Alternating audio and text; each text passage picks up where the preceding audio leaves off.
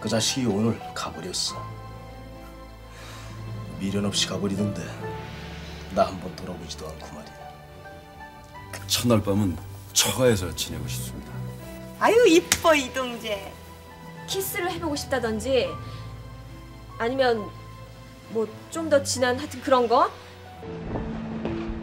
아, 무슨 기집애가 지가 먹고 지가 신경질 내고 가고 있어. 아저씨는 지하철 안에 계시지 여긴 웬일이에요? 내일 모레 개업한다 정우가 준사원님 축하합니다. 자 건배합시다.